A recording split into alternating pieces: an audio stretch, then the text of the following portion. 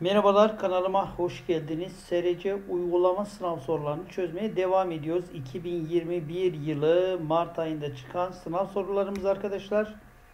Çeşitli bölgelerden gelen sınav soruları sınavlara giren arkadaşlara başarılar diliyorum. 2021 yılı yazılı ve uygulama sınav sorularını çözerek sınavlarınızda başarınızı artırabilirsiniz.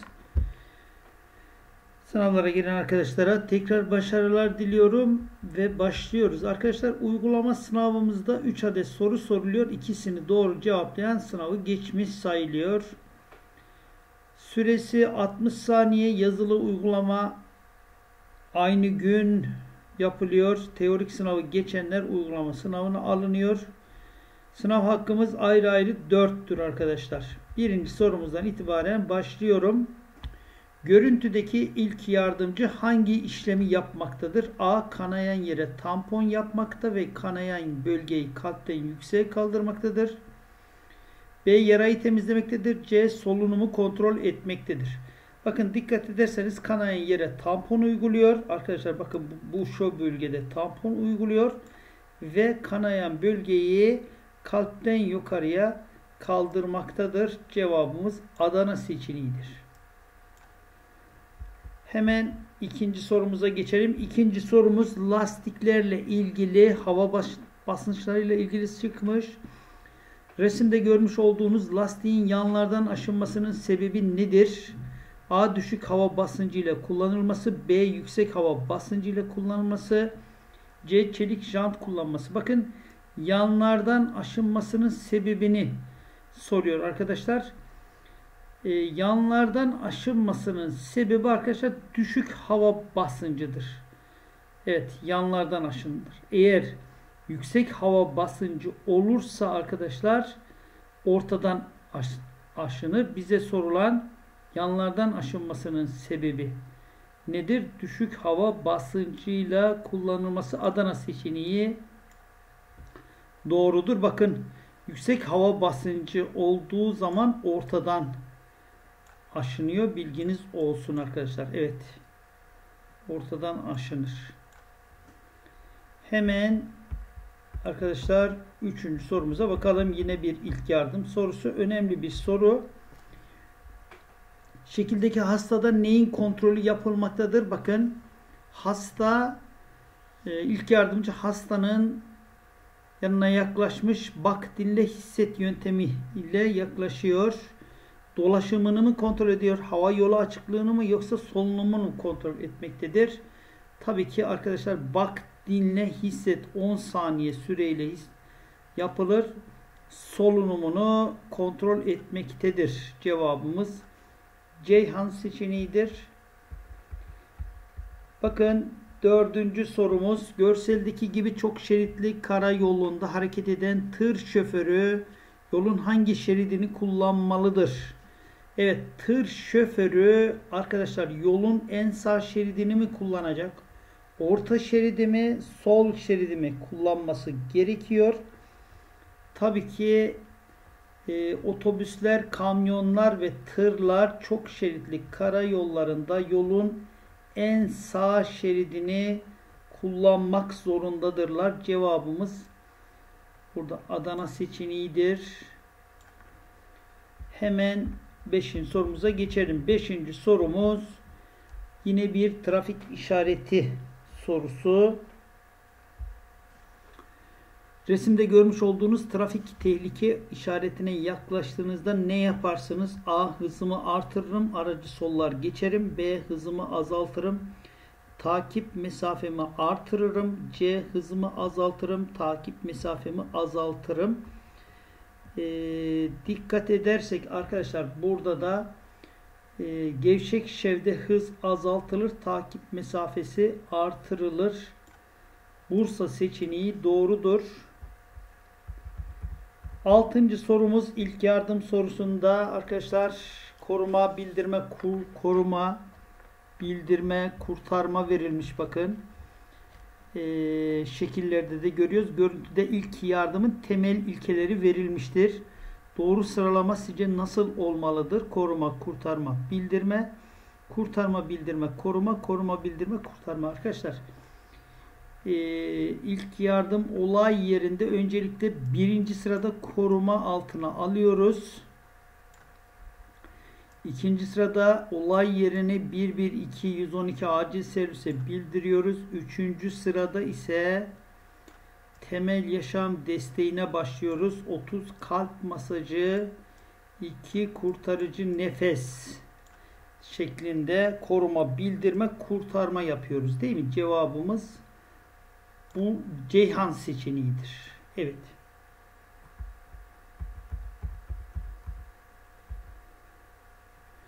Resimde görmüş olduğunuz trafik tehlike uyarı işaretine yaklaştığınızda ne yaparsınız? A. Hızımı artırırım. Sol şeride geçerim. B. Hızımı azaltırım. Takip mesafemi artırırım. C. Hızımı azaltırım. Evet takip mesafemi azaltırım. Evet arkadaşlar. Burada da dikkat ederseniz hızımı azaltırım. Takip mesafemi artırırım. Ani fren yapmam. Bursa seçeneğimiz nedir? Doğrudur değil mi? Evet. Bursa seçeneğimiz doğrudur. Yani kaygan yolda nedir?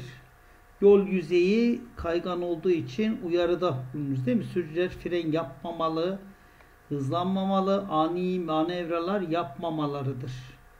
Evet, buzlanma olabilir kayganlık olabilir. Ani fren asla yapılmaz. Olduğunuz yerde takla atabilirsiniz. Sekizinci sorumuz görüntüdeki gibi trafik kontrolünde araçta hangi eksikliğin olması durumunda araç trafikten men edilir? A. Araçta yangın tüpünün olmaması durumunda B. Kasko poliçesinin olmaması durumunda C. Aracın zorunlu mali sorumlu sigortası olmaması durumunda Evet arkadaşlar aracın zorunlu mali sorumlu sigortası olmaması durumunda araç trafikten men edilir. Cevabımız Ceyhan seçeneğidir. Dokuzuncu sorumuz yine çok çok önemli. Daha önceki sınavlarda da çıkan bir soru. Şekildeki gibi bir kavşakta karşılaşan araçların geçiş hakkı sıralaması nasıl olmalıdır? Ee, bakın öncelikle bu tip sorularda geçiş üstüne sahip araç var mı? Evet arkadaşlar bakın bakalım polis var. Birinci sırada dönüş yapıyor e, tali yolda. Öncelikle polis geçer. Bakın daha sonra neye bakacağız? Ana yoldaki olan araçlara. 1 numara ana yolda düz gidiyor. 3 numara ana yolda dönüş yapıyor. 4 numara tali yolda. 4 numara en son geçer tali yolda olduğu için daha sonra ana yoldaki 1 numara düz gittiği için ilk geçer. 1 numara geçer. Sonra da dönüş yapan 3 numara. Yani arkadaşlar önce 2 daha sonra ana yoldaki 1 sonra dönüş yapan ana yoldaki otobüs daha sonra da 4 nolu tali yoldaki araç. 2, 1, 3, 4. 2, 1, 3, 4. Hangi seçenekte var? Bursa seçeneğinde sorumuzun cevabı mevcut.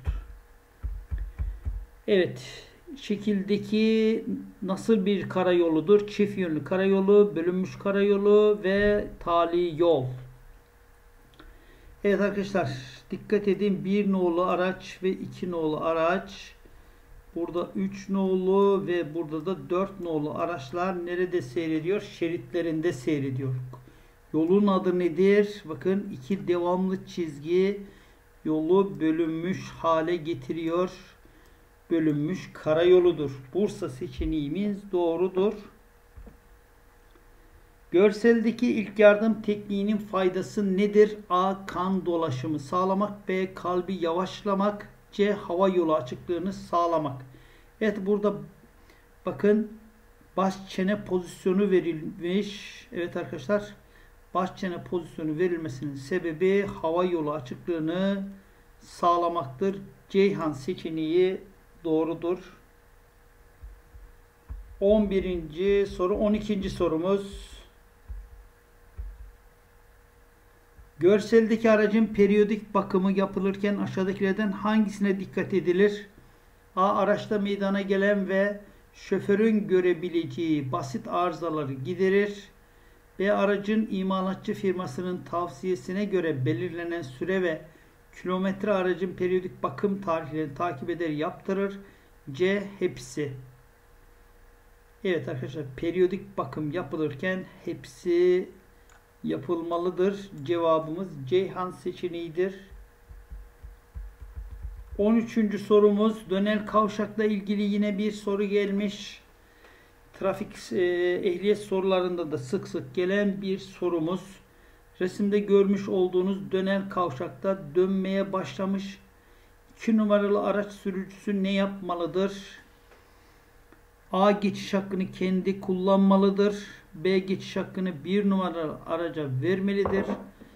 C geçiş hakkını 3 numaralı araca vermelidir. 2 numaralı araç ne yapmalıdır diyor. Bakın şuradaki 2 nolu araç ne yapmalıdır? Döner kavşak içinde olduğu için ilk geçiş hakkını kendisi kullanmalıdır.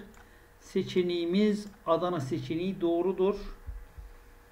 14. sorumuz son soru arkadaşlar. Görüntüdeki iki araç arasında okla gösterilen mesafenin adı nedir? Bakın 1 ve 2 nolu aracı soruyor. 1 nolu araç 90 ile gidiyor. İkinci araç 80 ile gidiyor. İki aracın arasında 45 metre var bakın. Bu neyi ifade etmektedir? Takip mesafesi, reaksiyon mesafesi, fren mesafesi. Evet arkadaşlar takip mesafesini bize sormuşlar. Cevabımız Adana seçeneği doğrudur.